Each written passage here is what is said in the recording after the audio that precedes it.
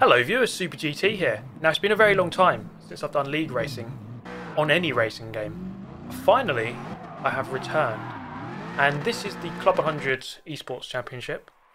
Now, for those of you who've seen some of the kart racing videos I do, um, Club 100 is a series I race in real life when I do my kart racing. And this series was set up by one of the test drivers, uh, Sam Dimolo, in that series. Uh, so it'd be interesting here to race some of the people I race in real life in the virtual world instead. Um, so I think this is going to be a really fun championship. Is going to be a really good set of races. It goes over four weeks, uh, so four rounds.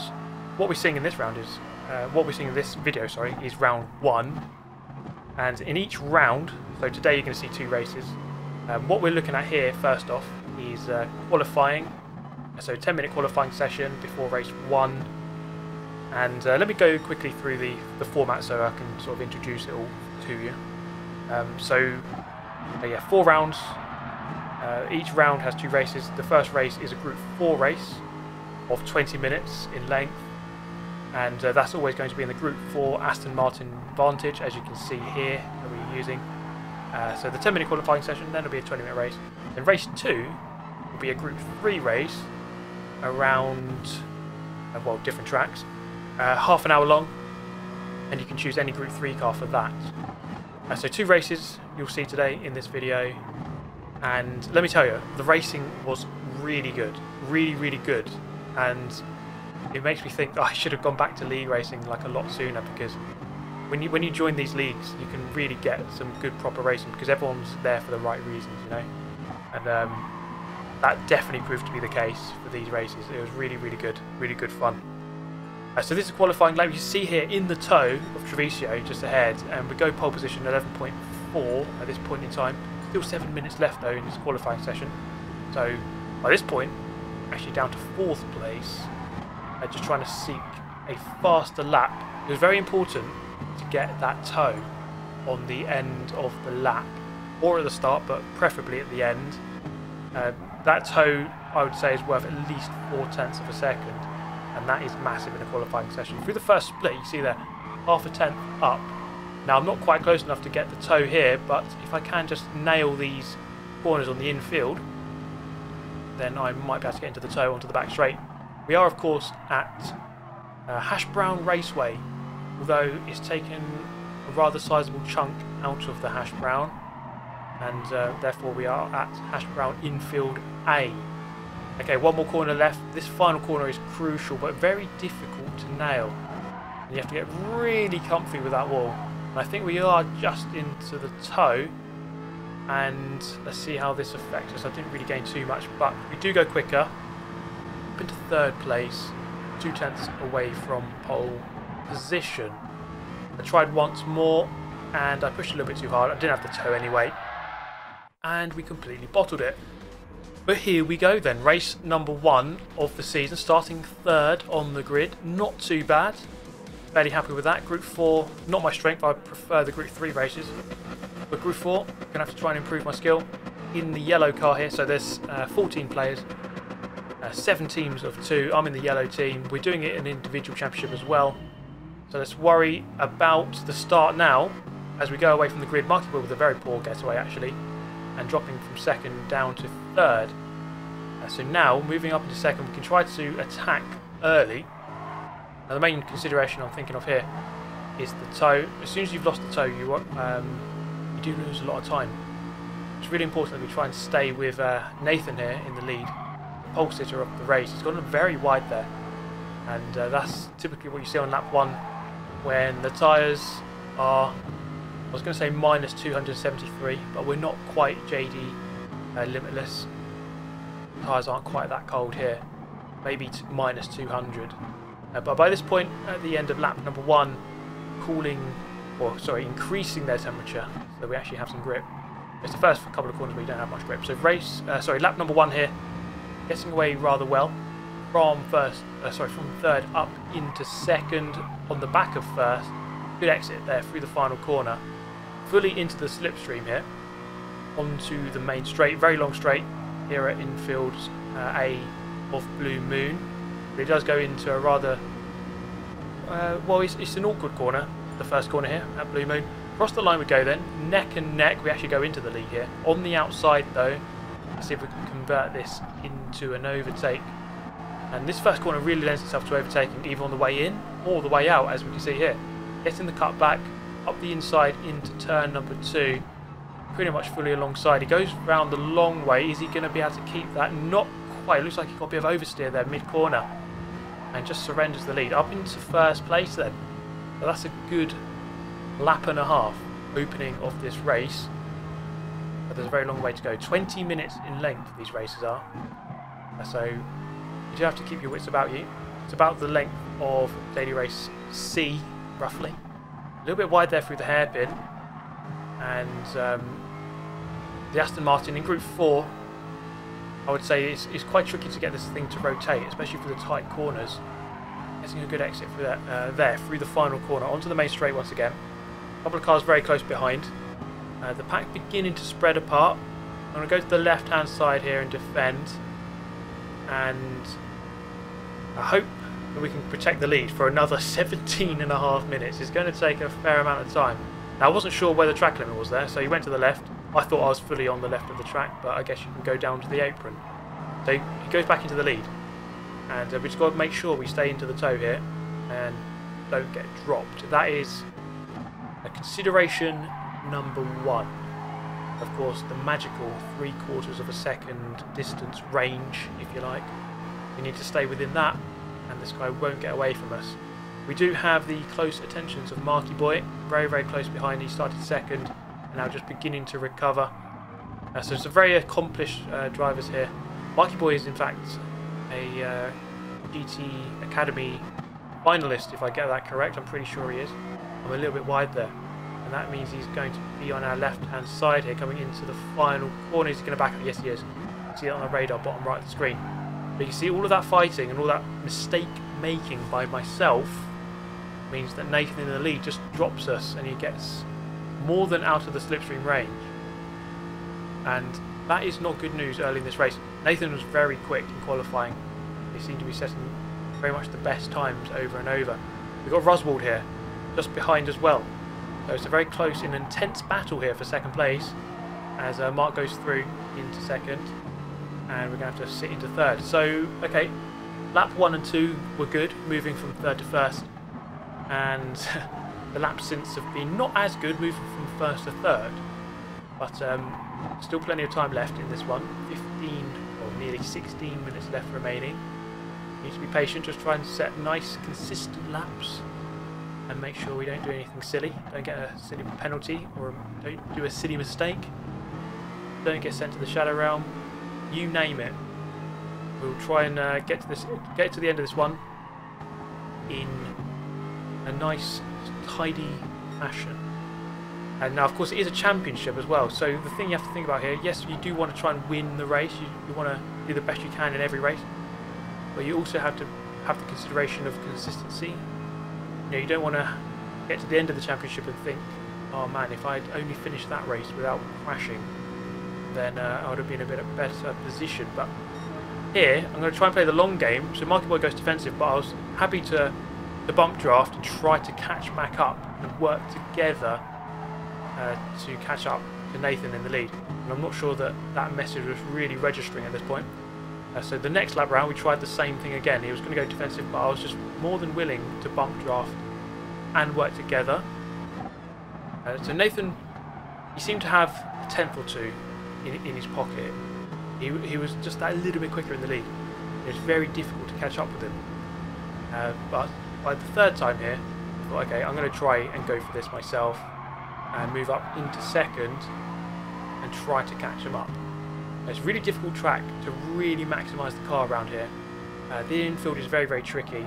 these corners here, very, very technical. It's on the power. This, this right-hander coming up you really do have to cut it, but it's very, very hard to get on the power exactly at the right moment without going onto the grass. So many people drifting onto that grass. It's so easy to do. Uh, Marky Boy actually dropping down to fourth now. This hasn't been a good lap for him, dropping from second to fourth. Uh, the gap here, about 1.7 to the lead. So I need to gain about a second to get back into that slipstream range. And uh, that would be very tricky to do. Uh, but we, we'll give it our best shot. That is all we can do. You can't ask for more than that. Through the final corner. I mean, this technically is the final corner here, but it's flat out on an oval. Uh, so it's not really a corner. You don't even have to do anything on it. Uh, so Roswald actually has a penalty.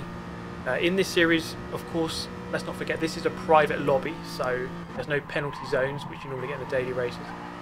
Uh, so Marky Boy there, you see him in third, and he drops down to fourth, then fifth, and then sixth, and then I think further. So some sort of error, some sort of mistake, some sort of collision, not sure, but he's dropped down. And so that is someone who has the potential to be easily on the podium, who is well out of range now. So that's one less person to worry about. And this is the thing we're talking about with the consistency of the races throughout a championship. You need to make sure you're not doing that, making those mistakes and dropping back into the pack and finishing eighth when you should have been finishing third or something.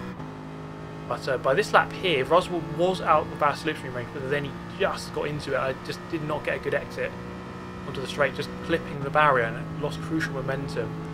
So now we've definitely got a battle on our hands for this second place. I thought I was home and dry. I thought I was away, but um, at this point, uh, Nathan in the lead. He's more than home and dry, I would say. But it's, it's, it's very much a battle here for second, with just under seven minutes left to go at this point. as we cross the line to begin lap number 12. I'm going to go defensive, cover the inside, force him to the right. And uh, there is the danger here of the cutback, which is very easy to do around this long first corner. If you can't overtake on the way in, you can cut back, overtake on the way out, and get the inside line for this next left-hander here.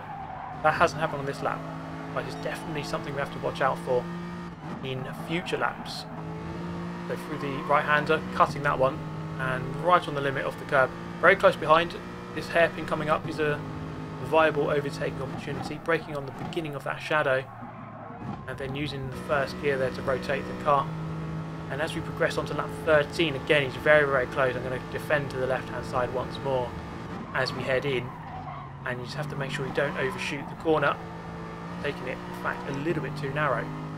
And on the exit we are just about okay, and he's right on us, perhaps just not quite close enough to go for that move. But that move surely is coming at some point soon because he is right on our tail.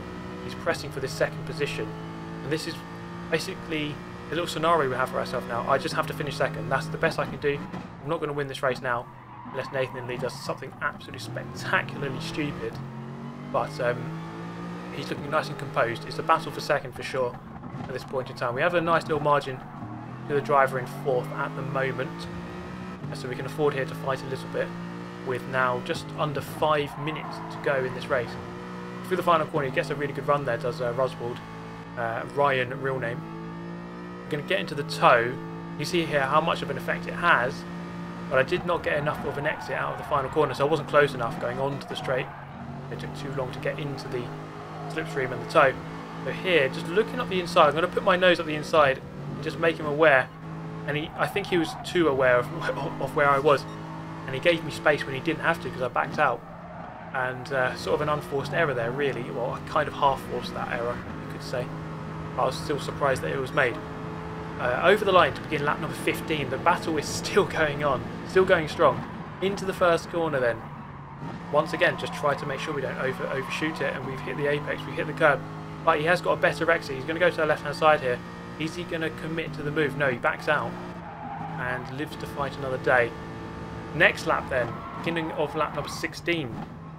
He does go full send up the inside this time. A nice brave move. Didn't quite get on the power early enough to get back the cut back. And uh, I'm going to have to settle into third here. 1 minute 40 remaining. So I would presume that this lap is the penultimate lap. And the next one will be the final lap. Okay, Closing up into the toe. Is he going to defend it? Yes, he is. Moves to slide to the right hand side. Brake on the shadow. Make sure we don't um, miss our braking point under the bridge. We're going to go for the cutback. Just try and force him out of position somehow on the right hand side. So he's going to go in fairly narrow here into the hairpin. And we're going to have to get a good exit onto the back straight. This is the last time we're going to go down the main straight for the full entirety of the straight. Therefore, we need to make sure that this one counts because this is going to be the final of big overtaking opportunity on the lap on the race. I'm just going to move to the left-hand side. As we enter turn one, we've both gone in side by side actually. He's going to try and hang this one around the outside. And powering out towards turn two, this is very close racing between the two of us. We can't really be separated. And again, he's made the same mistake, just drifted too wide, thinking that I was there, but I backed out by that point. So another error, the same error, and usually you should try and learn from the first one. But fortunately for me, that is not the case. And I move up into second with half a lap left to go. So Roswald here running out of opportunities to go for this return move as we enter the very end of race number one. It's been a really good race, really close battling. Would I, could I have won it? Possibly, but Nathan was very, very fast in this one. He's very, very fast in these cars. It was always going to be difficult. But uh, bringing home a second, not too bad. We started third, let's not forget. So it's always good to move forward from where you start. And then onto the main straight for the final time. I don't think he's going to be close enough to go uh, to get the toe and go back past us. But we are going to finish in second. It was a really good fight, really enjoyable battle that. Really enjoyed it. and I hope you did too. But that is only race one. There's still another race after this. And there's still three more weeks of this as well afterwards to come. So plenty more. If you're not subbed, make sure you make sure you get yourself subbed. Okay, here's my Group 3 car. I have gone for Lexus. You have to choose the same Group 3 car for the whole season. I've gone for Lexus. I even did the paint job myself. Um, I spent some rare time in in uh, the livery creator. So here's the race. I'm just kidding. This is not the race. This is just messing about in the pre-lobby. Right, yeah, so that's not the race. This is the race. And you can see there the, the nice different colours of the cars in the different teams. So red team actually on, uh, on uh, locking out the front row for this one. Well, because they finished last in the first race. Let's not forget, this is a reverse grid race. So courtesy of finishing second, we start second to last in this one. Uh, 30 minutes, Group 3, Nürburgring GP. The lights are out. Let's begin. Let's see how this one goes. Jay there with a very slow getaway. Going to gain one position, so started 13th. And Nürburgring, turn 1, usually this would be absolute carnage, Shadow Realm Portal. And well, this is what happens in league racing. You get respect. Respect actually gets shown and people know how to race. It's good to see. And um, coming through in 11th here, so the two McLarens ahead, and I think there's a bit of contact between the two of them. This one gets sent very wide, that's Mark actually. And uh, we're going to go up the inside here, up into 10th place. Good battling between the Aston Martin and the McLaren. McLaren on our right hand side now at this point in time, towards turn number 5. Looking for this move on the Aston Martin, not quite close enough to make it happen. But then uh, McLaren on our right hand side here, a bit of contact through the corner. That's going to send us slightly wide, but we're up into ninth place. I'm just going to have to try to slip across here in front of Marky Boy and the McLaren. Try to close off that potential move here into the hairpin at the bottom of the hill. That number one. So started 13th, up into 9th. We've gained 4 already. That is a fairly solid return.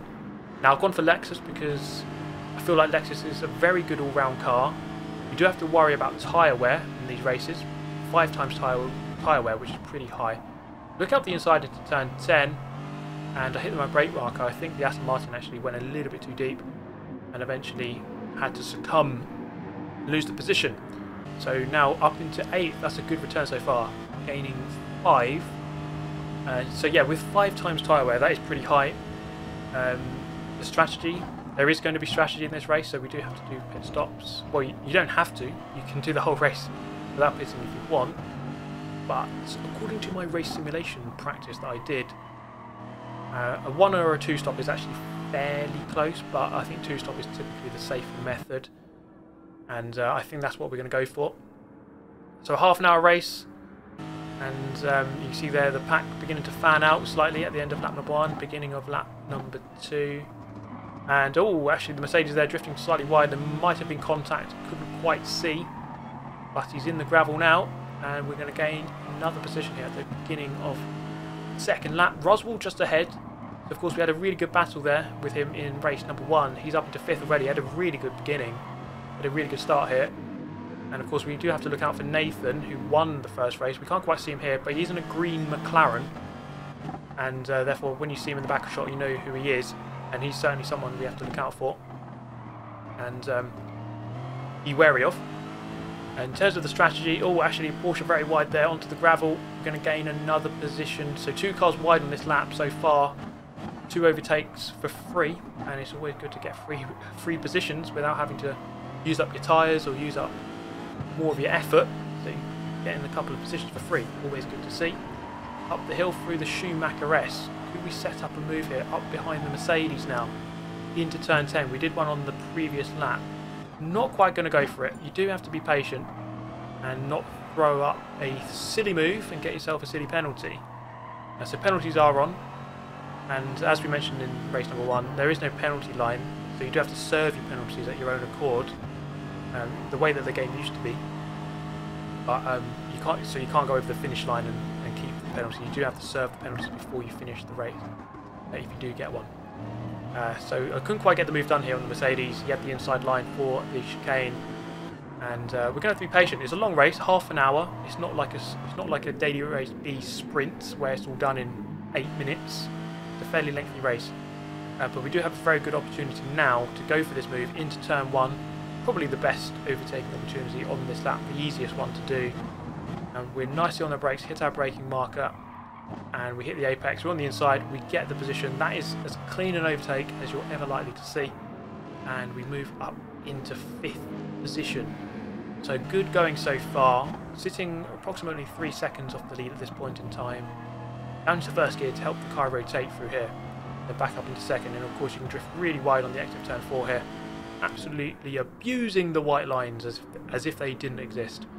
And looking at the pack here, so good racing here, uh, of course, on lap one, things are going to be always going to be rather sketchy and, and, close, and there may well be contact. But as you as you get uh, a little bit into the race, uh, the race beginning to spread out slightly, and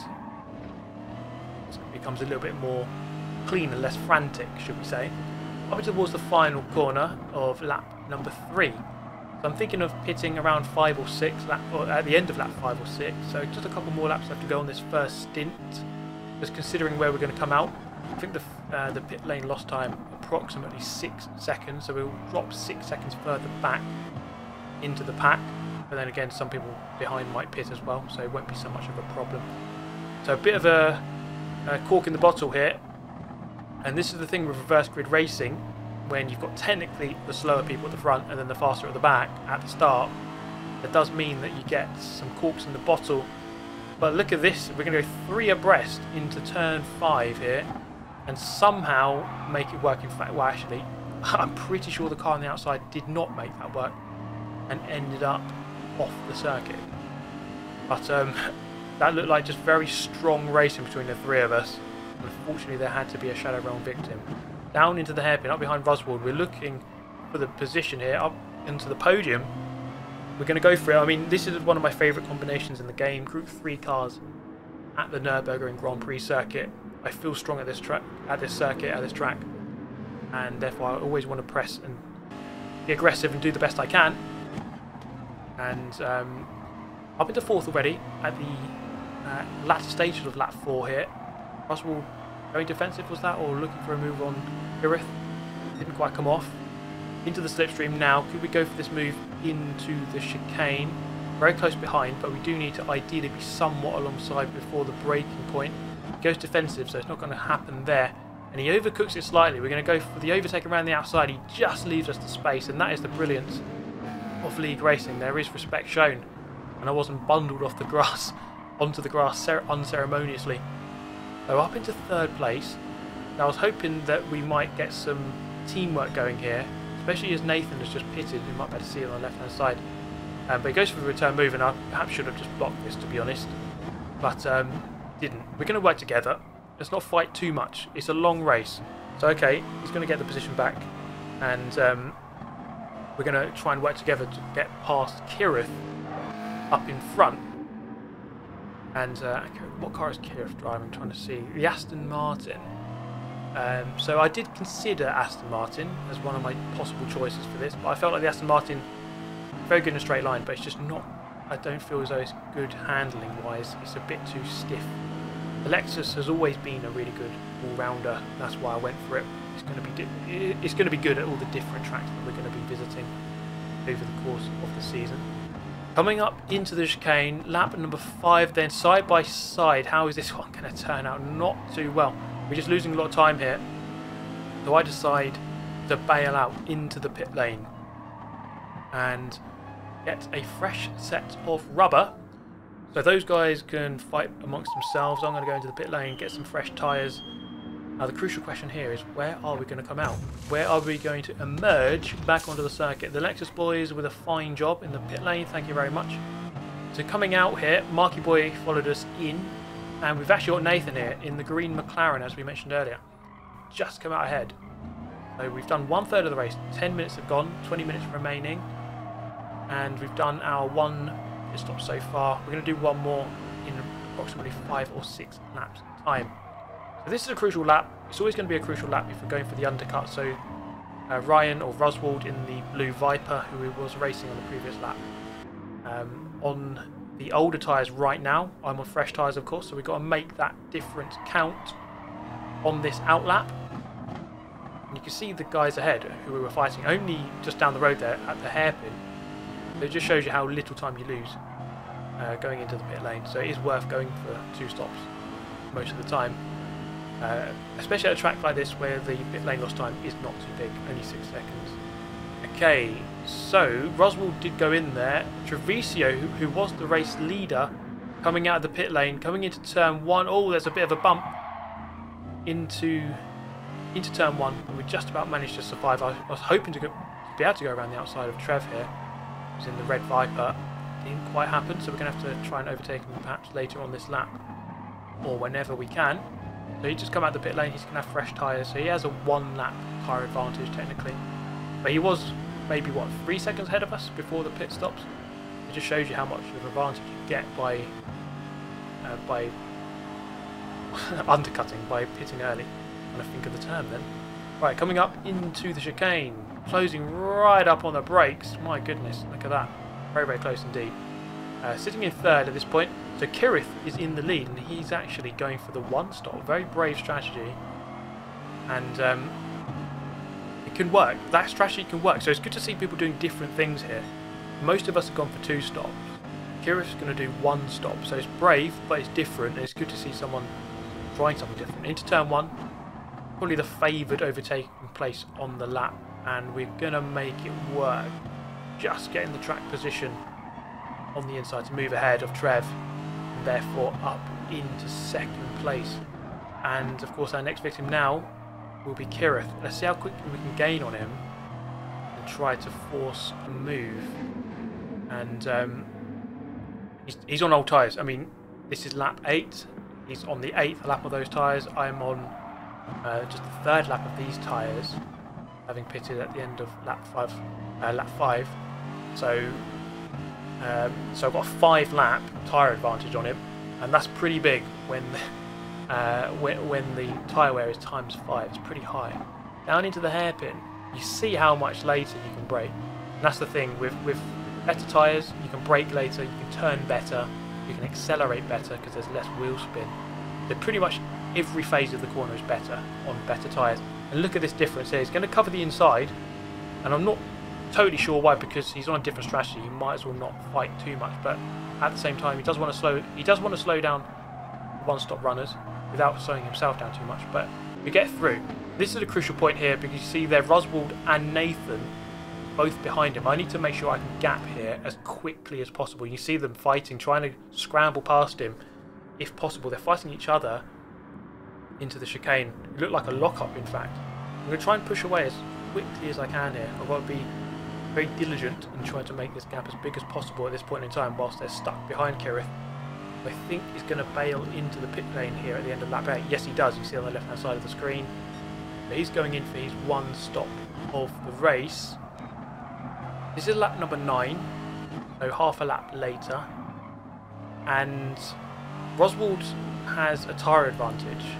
He pitted a little bit later, so his tyres are a little bit fresher. We did manage to get away from him. He came out maybe three or four seconds behind, uh, courtesy of the undercut. But then you see here, by lap 9 now, fourth lap on these tyres, just beginning to drift a little bit wide on some of the corners. Not driving perfectly, not driving as well as I would have liked, but we're in the lead, so it could be worse. We can't complain too much. Uh, Roswald looking for this position. We're not going to give it to him too easily. Into turn 10 and then 11. So coming up is a very good overtaking opportunity into, into the chicane. Uh, of course with the toe on this back straight. And uh, it always lends itself to a good possibility into the chicane. Is he close enough? No, I wouldn't say so. So I'm going to take the normal racing line into this corner. Carrying the speed in, and you see there the, the car just dropping off that curb and squirming almost. They're going to get a poor exit, force him narrow, but he's up the inside. I couldn't quite see where he was, and there he, there he was at the last minute, just appears. And goes up into the lead of the race. So I ideally needed to slow him down there, but the car just sort of didn't react nicely over that curb through the chicane, and unfortunately that unsettled the car. He just got underneath me into the final corner, so he goes up into the lead of the race. So a good little comeback here from Roswald. Uh, he was a couple of seconds down after the first set of pit stops, courtesy of the undercut, but he's made his way back with that tyre advantage. So main job now, really just to try and stick on his tail and make sure he doesn't make any progress, um, try and get away from us. It's the main thing we have to try to make sure doesn't happen. And by the end of lap 10, you see here, still on his tail.